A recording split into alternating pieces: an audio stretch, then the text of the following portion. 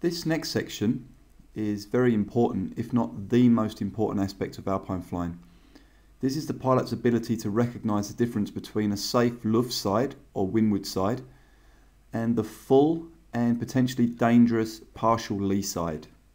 So to explain this, I've chosen to show it on one of the most classic partial lee mountains in the Zillertal, the Hamberg. It's about 15 kilometres to the north of Mayrhofen, and anybody who has been on our XC courses in the past will have heard me talk about this mountain with a lot of respect. But the theory can be applied to any mountain with similar characteristics. Okay, to understand here, first I'll explain what's happening upwind of this mountain. Presuming that the day is drawing in a good amount of air towards the heat low to the south, we can assume that lower down onto the north, there will be a constant soarable wind coming up the northwest face of the Hamberg. This is a good place to wait for a thermal to climb high enough to cross this obstacle.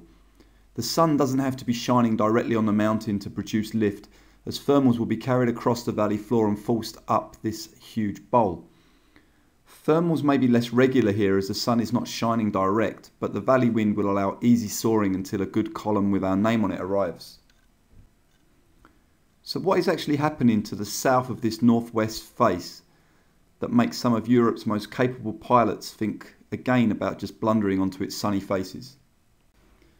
The main reasons why this mountain is so feared by local pilots is its aspect to the sun. In the afternoon when the valley wind is at its strongest, its main area faces southwesterly, creating um, powerful heating of this area and very strong thermals. It has a long sharp edge which runs from the valley floor to its peak at 2,000 metres. Just to the north of this mountain, the valley is pretty wide, but at a critical point, the Guffnerberg on the other side of the valley runs down to meet it. So there is an accelerated area of valley flow just where you don't want it. The reason for this acceleration is depicted as the red shaded areas on this image. So together with this sharp edge and stronger wind, it creates massive lee rotor. Put this with the pure heating of this rotor area and the thermals here are as nasty as you can expect anywhere in the Alps. This is the respected partial lee effect. So what is partial lee? As I've explained in the past, when there is a sharp directional change in the terrain, the air tumbles, producing rotor. However, when there is also a strong heating effect and therefore strong thermic activity, this is a bad combination.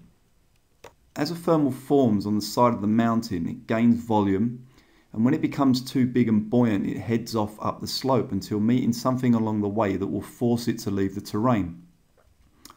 For example, a snow line, the peak itself, uh, the start or end of a forested area.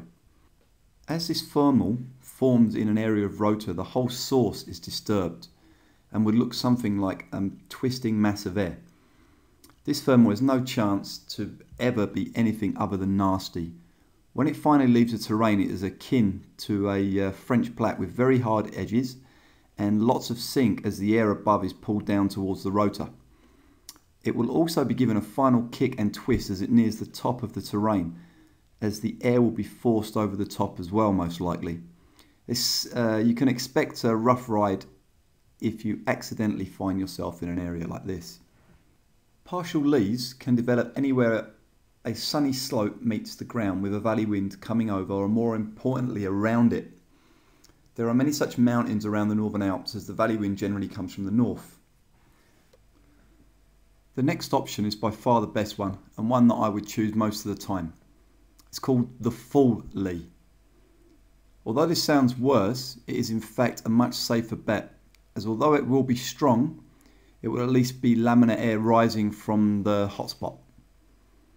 This is mainly because the source is protected from the valley wind and will possibly only get a little twisted as it approaches ridge height. Depending on the strength of the meteo or valley winds being pushed over the ridge, this will determine the amount of twisting and how far this extends above and below the crest. All in all, the thermal will generally become laminar again soon after and reward the thinking pilot with a quick trip to base so we can continue on our way. Okay, so just to recap, whenever there is a large change in direction in terrain, there is potential for lee side activity. So what a pilot has to observe is where the wind will be forced up and where it will be forced over and create rotor. And also, is the sun shining on that rotor? Also another potential for lee sizes where two valley systems meet. On the upside is that whenever there's a change in direction and possible lee, there is a chance for an easy soar up on the wind. This is why it's crucial to understand which way the valley flow is running. It'll help pilots stay airborne and most importantly safe if you find yourself low in these areas. The most important rule of all is that wind beats sun, always. The next part will be about what this means for us in the real world.